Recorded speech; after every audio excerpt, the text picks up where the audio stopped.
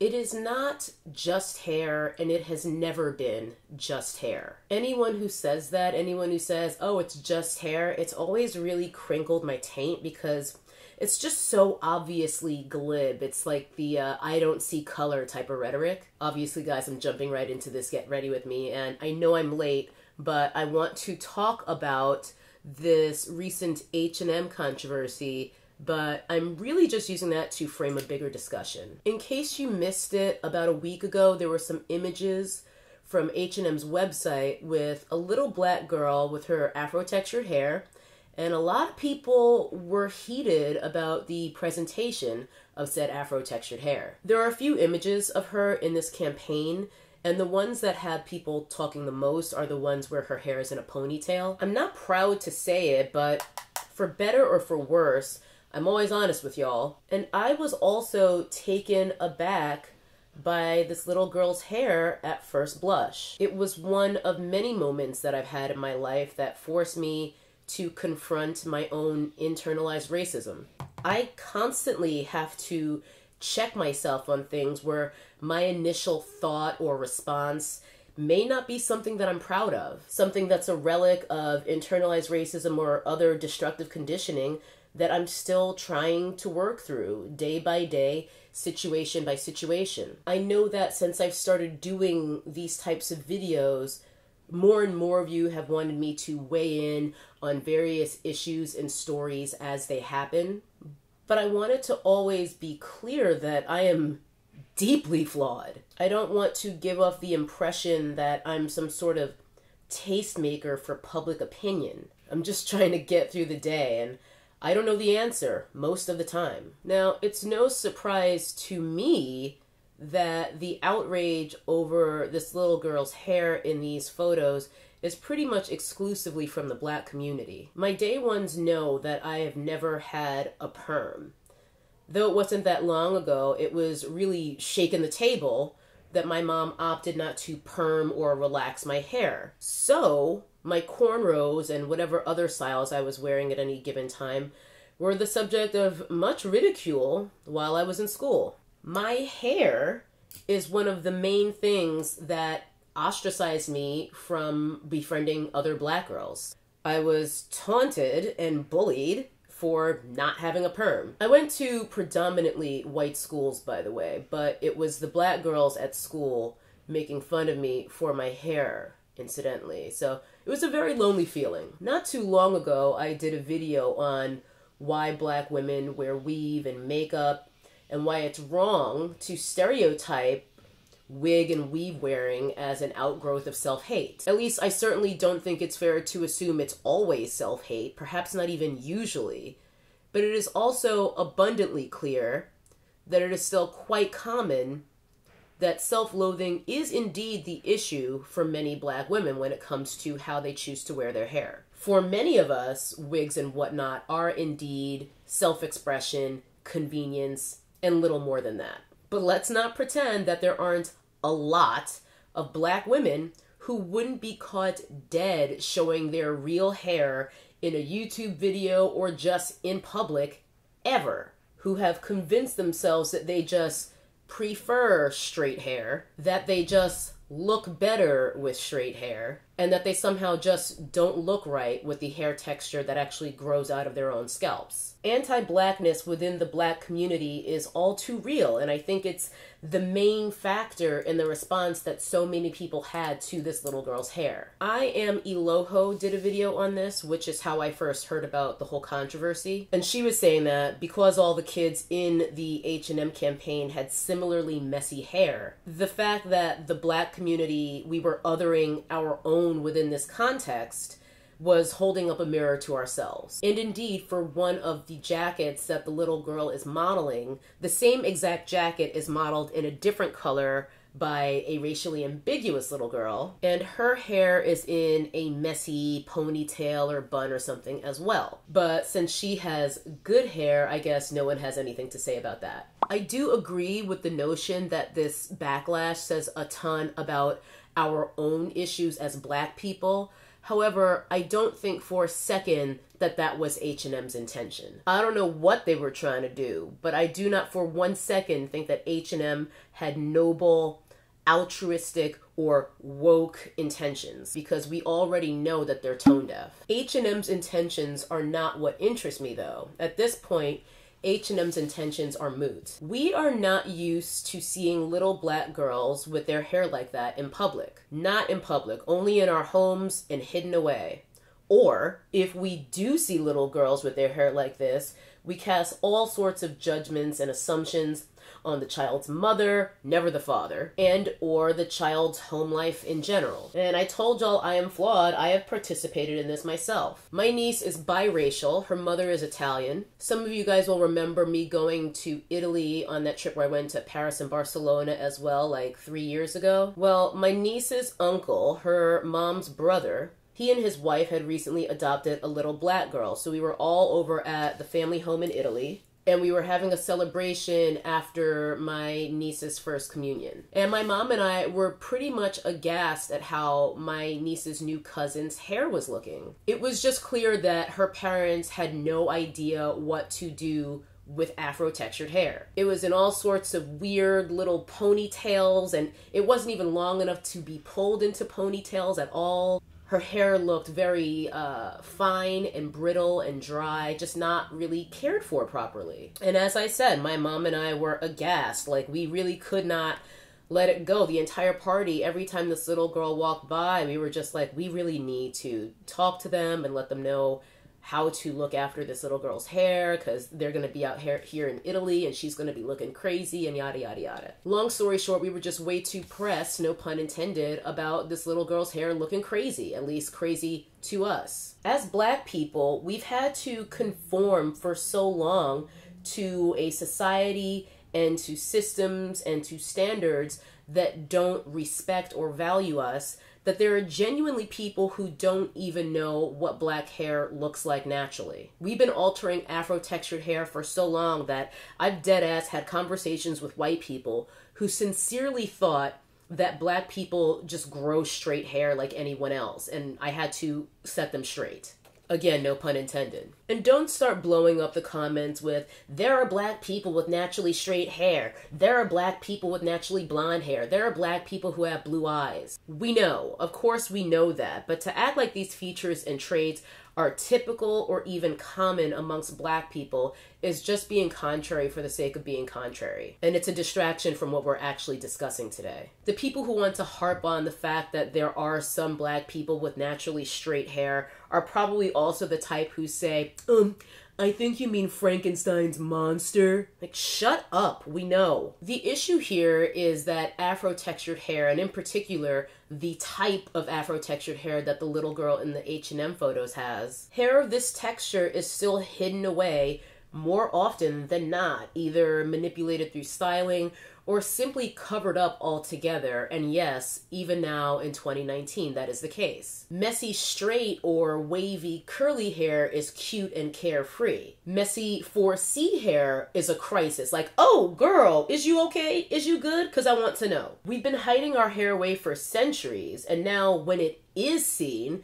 which in itself is a relatively new phenomenon in, in American culture anyway, there's a very specific standard of what is desirable and beautiful. We talk so often about hair being laid, and that phrase is so on the nose. Lay it down, beat it down until it is fried, dyed, and laid to the side. Well, afro textured hair, by nature, stands up. Maybe it's time we start to stand up for our own afros with sincerity. Lashes, one second. It was one of those struggle bus days putting on these lashes, y'all. Anyway, when it comes to natural hair, a very specific aesthetic is demanded, and we, black people, are a big part of that problem. For almost a decade now, I have watched hair vloggers talk about loving their natural hair, loving their 4C hair, and clearly, that is not the case. The way I see so many of these women handling their hair on YouTube and social media, though,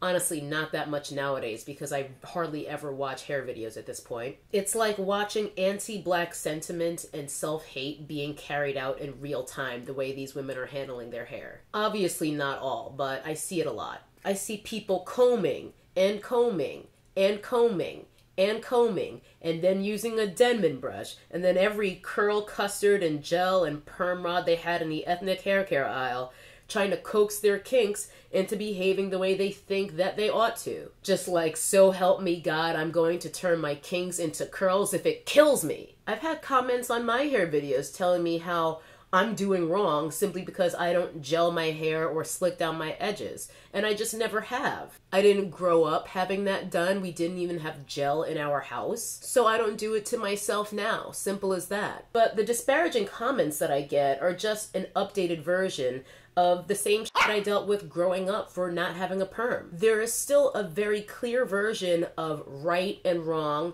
pretty and ugly when it comes to black hair even though hair texture doesn't have a consistently direct correlation to skin complexion, after all, there are plenty of people with darker skin than mine who have loose curls or waves or whatever. But it would be disingenuous and naive to pretend that texturism isn't just an offshoot of internalized racism and colorism. Biracial and multiracial people come in a vast range of shades and have all sorts of different hair textures. After all, a person who is Latin and Asian is just as biracial as a person who is black and white. But there's something to be said about a prototypical biracial aesthetic that we've been fed for years and years, and the value that so many of us place on exemplifying the features within that aesthetic. Y'all know what I'm talking about light skin, light eyes, and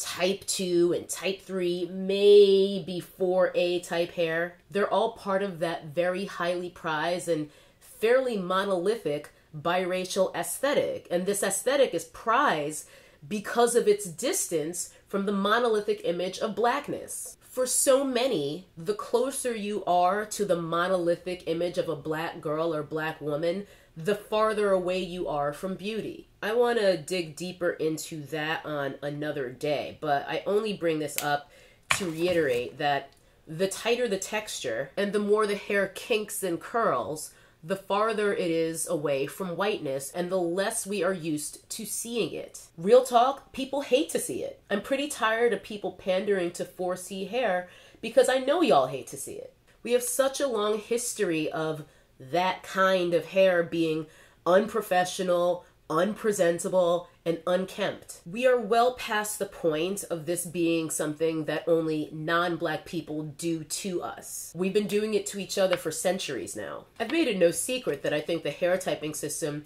is just another version of the brown paper bag test. But I play along and I use it here on YouTube because I know that this is the terminology that people use and because I want people to find my content when they're doing searches. Let's be real. In short, 4C hair remains so underrepresented and unseen because the vast majority of people don't accept it, let alone love it. They don't want to have 4C hair. They don't want to see 4C hair. Y'all want to watch the girls with thick, long, type 3 and maybe 4A hair, but they don't want what I have, even though it is very, very likely it's what they have too. Some of the people who hate 4C hair the most are the people with 4C hair. Because it's not like 4C hair is the least common texture by any stretch. Go to any black salon, braid shop, or barber shop and just look around. But beauty standards that never made spaces for us have taught us to hate the features that are unambiguously, undeniably black. 4C hair is too black, straight up even though 4C hair is everywhere, white supremacy has us perpetuating 4C hair being the least seen hair texture, even and perhaps especially amongst ourselves within our own communities. If you leave 4C hair as it is, rather than forcing it into some curl pattern with laid edges and a defined wash and go or defined twist out or whatever when you leave your house, your hair ain't done. Even in the images with this little girl and the ponytail, like, why'd they even force her hair into this ponytail? The little girl has fine hair and it isn't long, which is just an observation, not a value judgment. But yet again, it's forcing her hair into doing something unnecessarily, just like at that family lunch in Italy when they had that little girl's hair and all these ponytails. Just like, just leave her hair alone. Forcing her hair into this ponytail for what? Just let it be. I don't think anyone is nearly as outraged over the shots where this little girl's hair is loose anyway. Plus, they appear to have laid her edges in those ones where her hair is loose, so that's very important to a lot of people. Has there always been this obsession with edges? I certainly never knew of it until I got into YouTube. But damn, people will seriously decide whether you deserve to live or die based on some edges. The little girl has fine hair and fine edges like a lot of us. When did having thin edges become synonymous with being completely inferior? People act like you're straight up stupid and worthless over some edges or lack thereof. I've never had edges, and yet somehow, some way, I've lived a very lovely life, and I know that I still have value. I mean, thank God I didn't grow up with social media because I never even felt insecure about my hairline until I started getting crazy comments on YouTube, if I'm honest. I legit never thought much about it. But it goes back to policing each other to meet a certain standard, a standard, in fact, that never included us in the first place. Kim over at For Harriet also did a video on this H&M thing that I watched. And in her video, she said how she can go out with her hair not done, looking ashy, and it doesn't bother her until she sees another black person. And I was like, girl, same. Though these standards are and were born out of being forced to meet certain aesthetics to be palatable, to be accepted into white society, to do things necessary for our survival, like getting jobs. Black people are often the harshest critics and most dutiful enforcers of these standards of having our hair laid, of what is presentable. I actually grabbed some of the photos that I've been showing you guys from this campaign from Essence just because it was easier for me than trying to find all the images on H&M's own website. When I went to download the images, whoever put them on essence.com gave the images titles like H&M Natural Done and H&M Natural undone, referring to the shots where the little girl's hair is loose with her edges somewhat slicked versus in the ponytail, respectively. I'll actually link the images on Essence directly in the description box so that you guys can see this in the image URLs for yourselves. Because obviously, Essence is a black publication, so I thought that was interesting. Black people are often the least open and able to start taking the necessary steps to let go of these foreign standards and start to truly accept ourselves as we are. Despite my cynicism over H&M's actual intentions, whatever they may be, I do think there's value in these images of this little girl because there are a lot, and I mean a lot of little black girls out there who might see her, a model, and those little girls also have fine 4C hair and they also have fine edges and therefore they'll be able to see themselves. You know, edges and defined curls aren't everything.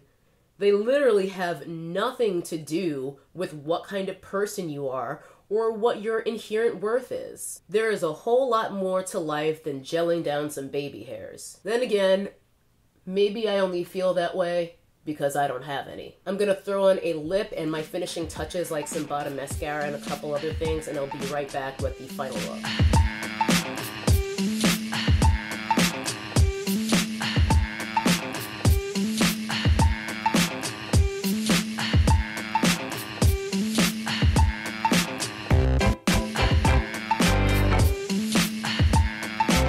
Transition out of the awkward slow mo shots. Thank you as always for keeping me company and hanging out with me while I got ready today. I do want to hear from you guys in the comments, hear what you thought as I said, you know, I probably had what would be the less than correct response initially. You kind of can't help how you first react to something, but you can help how you respond. As black people, we are all working through so much negative conditioning and so much subjugation, but we do need to start confronting these issues that we have with our own hair in particular, with very, very highly textured kinky, not so curly afro textured hair. I realize that I'm definitely a TT come lately with weighing in on my thoughts here, but I've just had a very busy past week, two weeks. Not to mention, I'm fighting a cold, so you guys might hear that I sound a little congested, but I usually win. I very rarely get sick, so fingers crossed that I can beat this one too. And by the way, in case you missed it, before I get out of here, I am doing my first run of official Nappy Headed Jojoba merch. It is in reference to a non sequitur I made a couple videos ago uh, where I said, bitch, that wasn't a read, I was just browsing. So there are t shirts and hoodies in a few different colors. I will link the campaign in the description box. It runs for about another week, so you have a little time to get your coins together if you want to get involved before the campaign ends. But beyond that, I got nothing. So thank you for hanging out with me all the way to the end of the video. And before I get out of here, I will leave you with a gentle reminder. And that reminder is to never trust anyone with a Morphe code. Bye bye. That's, that's a nappy headed hose there, I'm going to you that now.